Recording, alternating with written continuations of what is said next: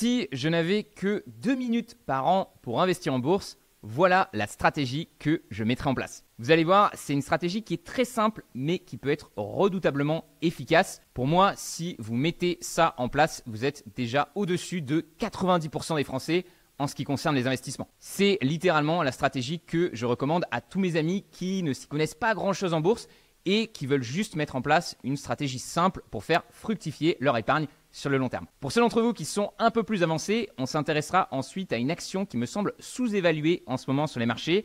Avec son PER de 22,7, je lui estime 13,7% par an de rendement sur les 5 prochaines années. C'est une entreprise dont vous êtes, je le suis sûr, déjà client et elle pourrait donc avoir une place dans votre portefeuille. Enfin, on terminera avec une petite réflexion que je me suis faite avec Sven qui travaille avec moi sur la différence de mentalité qu'il existe entre les gens qui ont quitté leur pays d'origine et ceux qui y sont restés.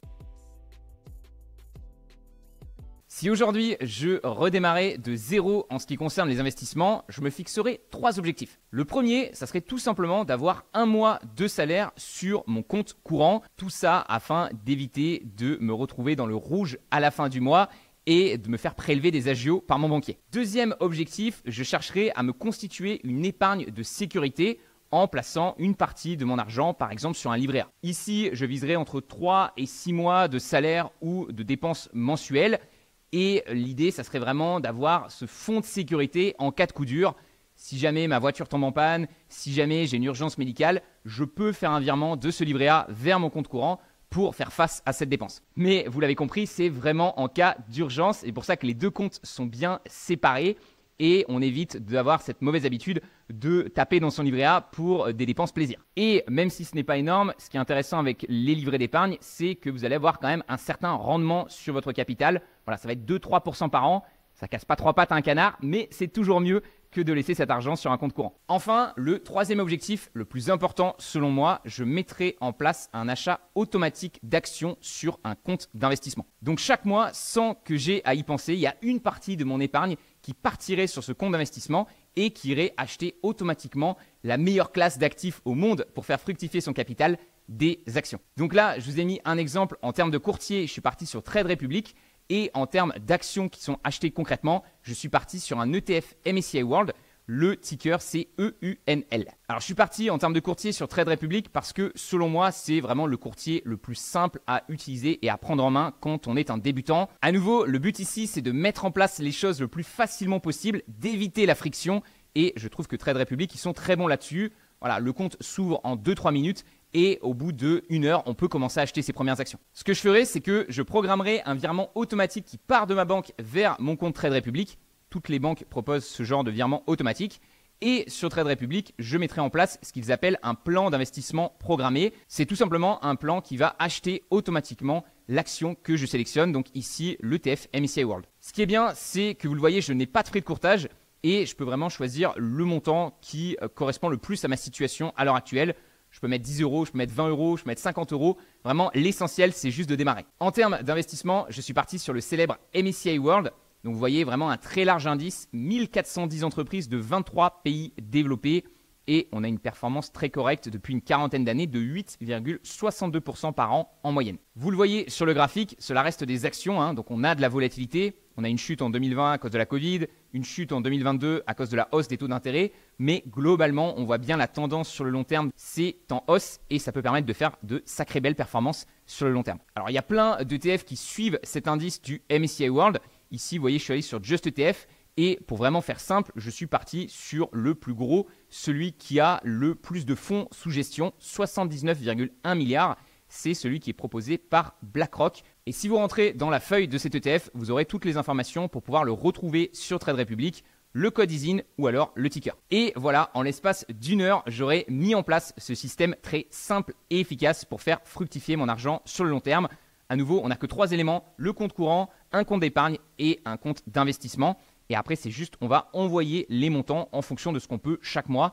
Au début, euh, l'objectif à nouveau, c'est de remplir son compte courant ensuite son compte d'épargne de sécurité, et enfin, on passe au compte d'investissement. C'est une stratégie qui est très simple, mais si vous la mettez en place, pour moi, vous êtes au-dessus de 90% des Français en termes d'investissement, parce que la majorité des Français, soit ils n'ont aucun compte d'investissement, donc finalement tout l'argent reste sur des livrets à 2-3% par an, au lieu, comme on l'a vu, d'être plutôt à 8 à 10% par an avec le Missy World. Et souvent, quand vraiment ils se disent, OK, j'ai trop d'argent sur mon compte d'épargne, ils reçoivent un petit coup de fil du banquier, petit rendez-vous, et le banquier leur dit, mais vous inquiétez pas, j'ai cette superbe assurance vie pour vous.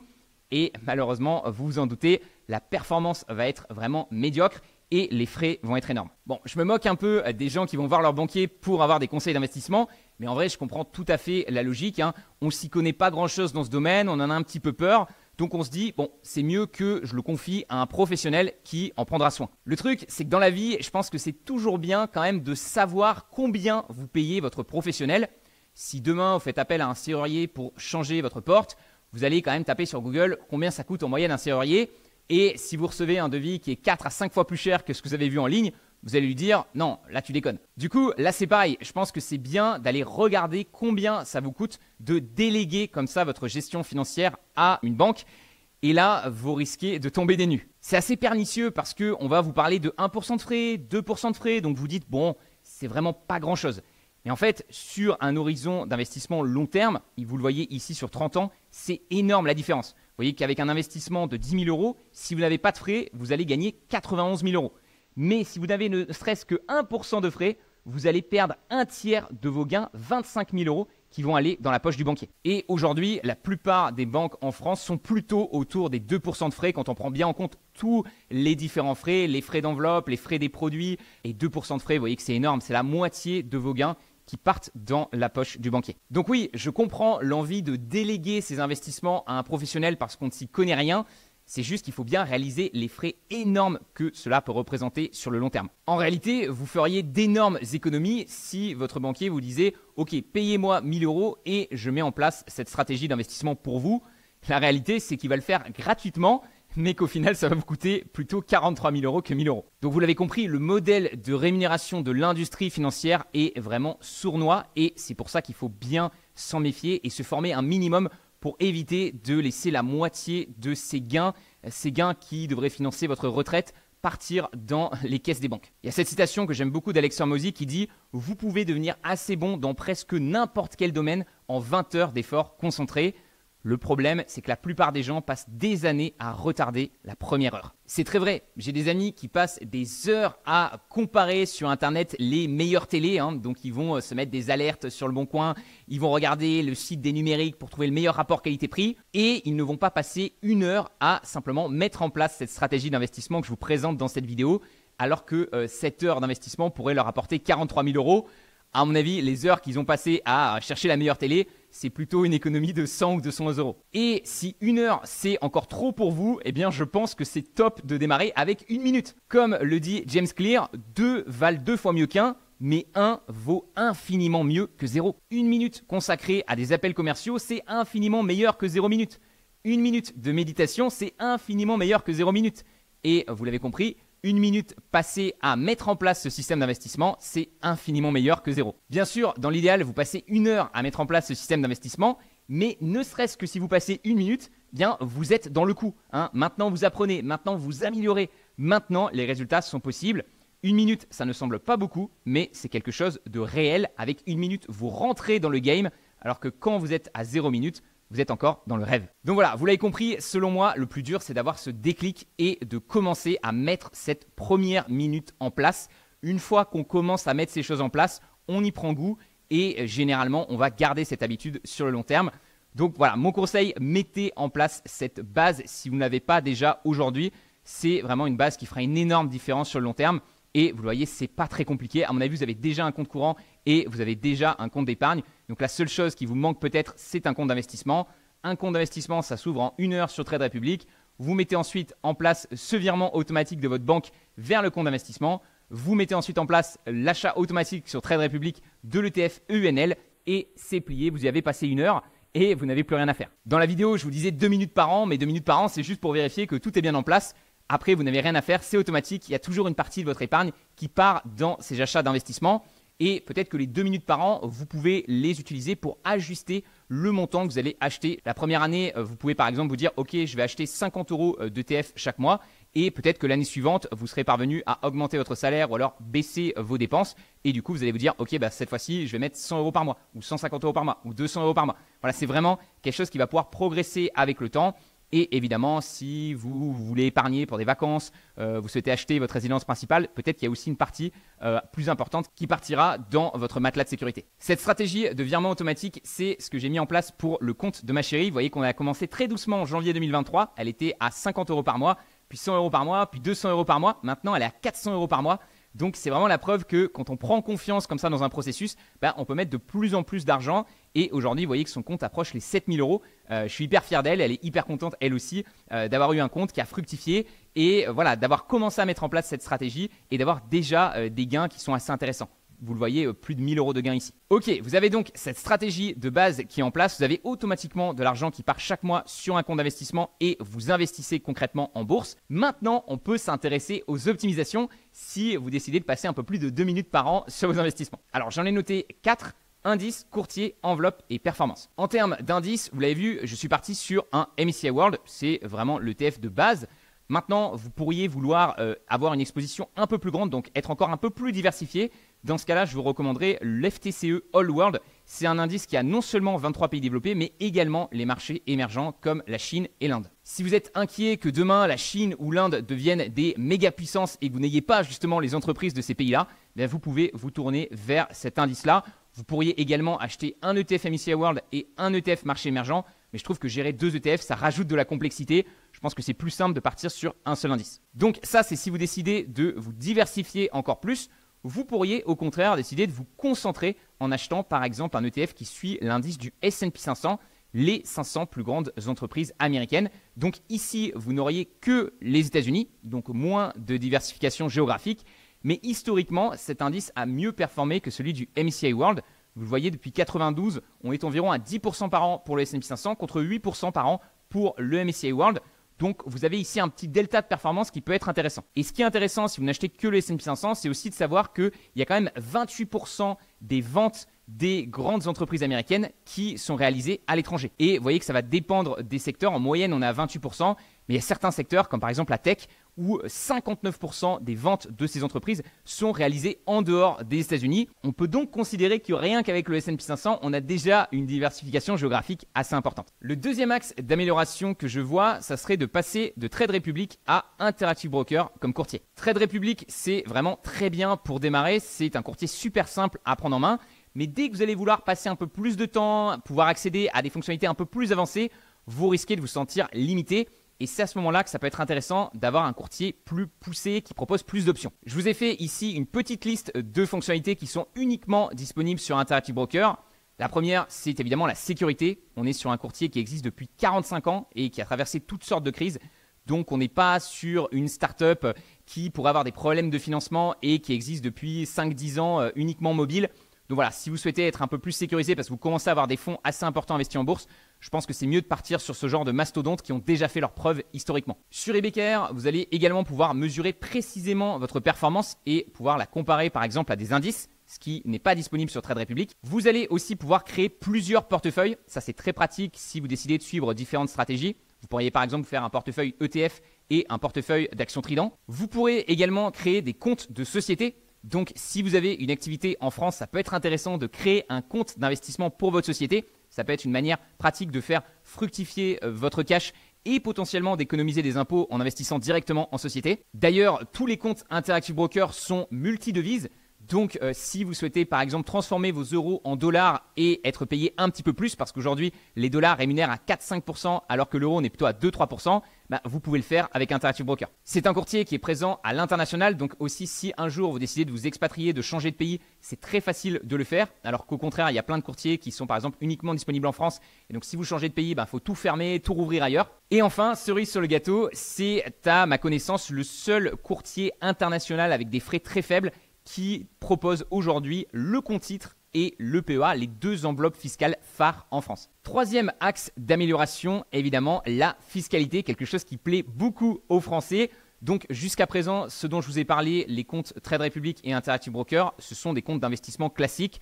En France, on appelle ça des comptes titres ordinaires ou CTO. Mais il existe également une autre enveloppe fiscale qui est assez intéressante pour investir en bourse, c'est le PEA, le plan épargne action. Les avantages du compte titre, c'est que vous allez pouvoir vraiment investir dans le monde entier, dans tous les produits que vous pouvez imaginer et vous avez généralement des fonctionnalités très pratiques comme les investissements automatiques et les fractions d'actions.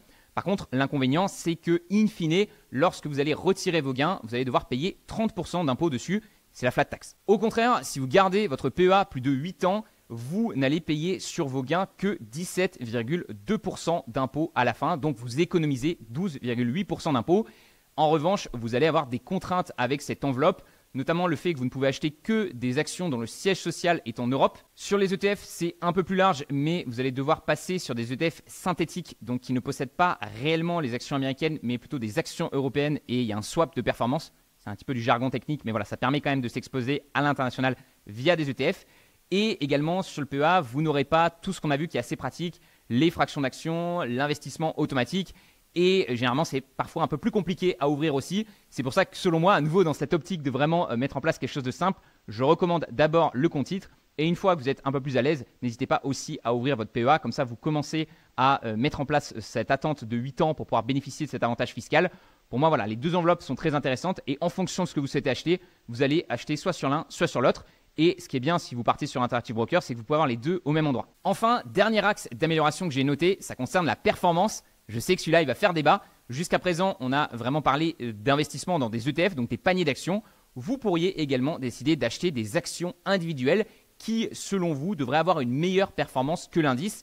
Donc évidemment, si vous sélectionnez les actions individuelles, il faut faire très attention puisqu'il faut que vous ayez un rapport risque-rendement qui soit meilleur sur cette action que sur l'indice. Et évidemment, ça, ça demande quand même d'avoir certaines compétences ou au minimum un accompagnement, des conseils, parce que si vous le faites un petit peu rapidement, vous risquez de vous tromper et de vous retrouver avec une action qui va moins bien performer que l'indice. Donc vraiment, quand vous débutez, je pense que le plus simple, c'est de commencer avec les ETF. Et une fois que vous êtes à l'aise avec ceci, vous pouvez commencer à mettre une petite partie de votre capital dans des actions et voir concrètement si vous arrivez à faire mieux que les ETF. Je vais vous montrer un exemple justement dans cette deuxième partie d'une action qui me semble offrir aujourd'hui un rapport risque-rendement meilleur qu'un indice. Mais juste avant ça, petit récap de ce qu'on a vu dans cette première partie.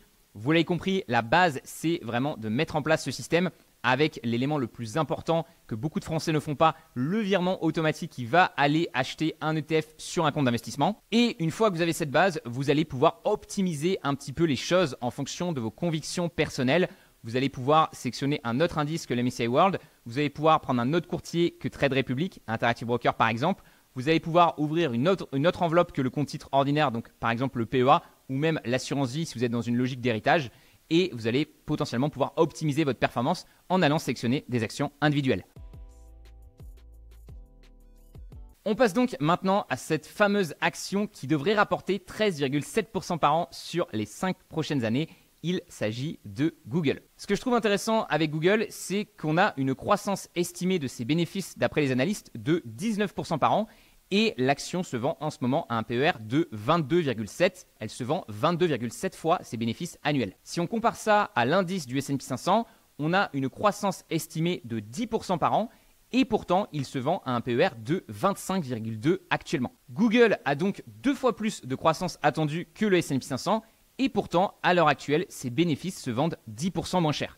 Il y a un phénomène un peu étrange ici, qui pourrait du coup signaler une opportunité. Quand je vois des opportunités comme ça sur le marché, j'utilise mon système d'analyse Trident en trois étapes. Je vais d'abord regarder les chiffres, donc l'aspect quantitatif de l'entreprise, ensuite l'aspect qualitatif de son business et enfin, en dernière étape, la valorisation. En termes quantitatifs, vous le voyez sur le benchmark Trident, Google a vraiment des très bons fondamentaux par rapport au S&P 500. Donc on en a parlé, une croissance future estimée qui est beaucoup plus forte, mais également une croissance passée qui a été plus forte, des meilleurs retours sur investissement, des marges plus élevées.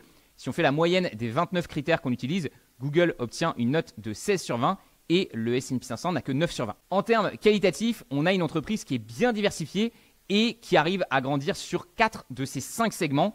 Vous le voyez, le plus gros segment, c'est le Google Search avec 48 milliards de ventes sur le deuxième trimestre 2024. On a ensuite la publicité YouTube. On a ensuite le réseau euh, de Google des publicités sur des différents sites. Donc c'est la seule, vous voyez, qui baisse, moins 5%. On a ensuite le Google Play Store. Et enfin, la partie Google Cloud qui, vous le voyez, a la plus forte croissance, plus 29%.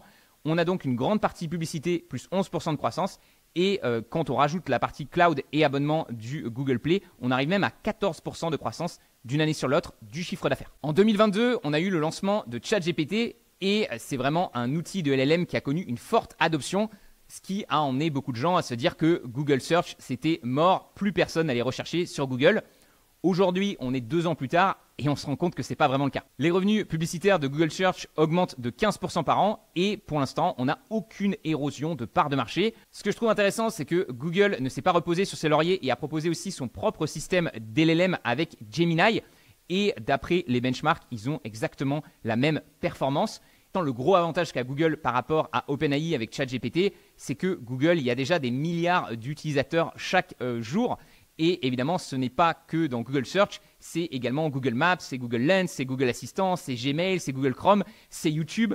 Donc pour moi, euh, Google a une position bien plus intéressante que OpenAI là-dessus. Euh, honnêtement, moi, si demain on me disait je te paye 10 000 euros et tu ne peux plus utiliser les produits Google, bah, je préférais ne pas prendre ces 10 000 euros et continuer à utiliser les produits Google puisque c'est vraiment des produits que j'utilise tous les jours. Euh, évidemment, YouTube que vous êtes en train de regarder, mais j'utilise aussi Gmail, j'utilise Chrome, euh, j'utilise pas mal la Google Search, j'utilise Calendar, j'utilise Google Maps, euh, pas Google Play parce que je suis, chez Apple, mais voilà, Google Photos aussi j'utilise.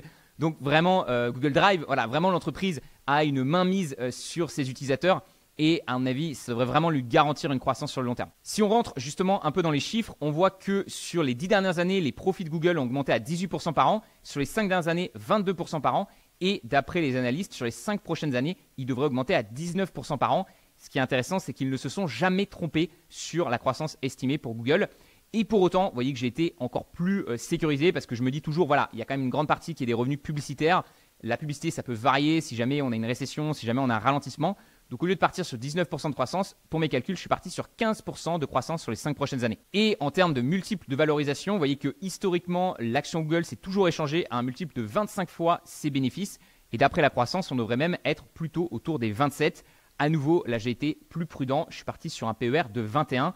Donc j'estime que dans 5 ans, il y aura une contraction du multiple et que les bénéfices de Google se vendront moins cher que s'ils sont vendus historiquement dans le temps. Quand je place cette courbe de valorisation de 21 fois les profits de Google, voilà ce que ça donne. Vous voyez que c'est quand même très rare que l'entreprise se vende autour de cette courbe-là. À la Covid, elle avait touché et c'était vraiment le tout bas. 2022 aussi, il y avait une opportunité, ça avait vraiment euh, touché le bas.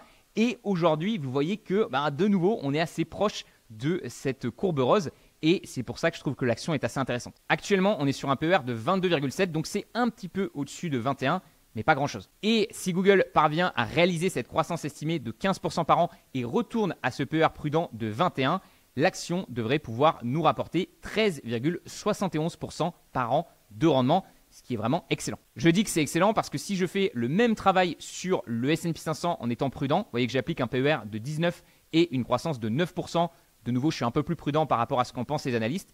Je suis à 6,5% par an de rendement estimé sur les 5 prochaines années. Donc voilà, d'un côté, j'estime que le S&P 500 devrait rapporter 6,5% par an sur les 5 prochaines années. Et à côté, j'ai Google, une entreprise qui me semble dominante, qui est quand même très diversifiée et qui devrait pouvoir rapporter 13,7% par an sur les 5 prochaines années. Voilà un exemple concret d'une sélection d'actions individuelles. Vous voyez qu'il y a pas mal de travail de recherche à faire, mais ça peut être intéressant parce que ça peut permettre de faire deux fois plus de performance. Évidemment, ce n'est que des estimations, donc on va voir ce que ça donnera sur les cinq prochaines années, mais j'espère avec cet exemple vous montrer un petit peu comment ça se passe quand on cherche justement un rapport risque-rendement qui soit meilleur que celui de l'indice. À nouveau, si je ne trouvais pas d'action qui offrait justement un meilleur risque-rendement que le S&P 500, bah, je préférais évidemment acheter le S&P 500 et j'essaie d'acheter uniquement des actions qui me semblent offrir vraiment un meilleur rapport entre le risque que je prends et le rendement que je peux obtenir. Si vous souhaitez que je fasse ce travail de recherche et d'analyse pour vous et que chaque semaine je vous présente des actions que je trouve intéressantes et qui devraient rapporter plus que le S&P 500 sur les 5 prochaines années, vous avez le lien vers la méthode Trident dans la description. On termine cet épisode avec un petit message que m'a envoyé Sven qui m'a fait sourire. Un ami à moi de Majorque qui est intéressé à rejoindre la méthode Trident, est-ce que je peux lui faire 100 euros de réduction? C'est marrant, la différence de mentalité en France, dans mon entourage, je n'ai jamais réussi à convaincre quelqu'un, sauf mon père.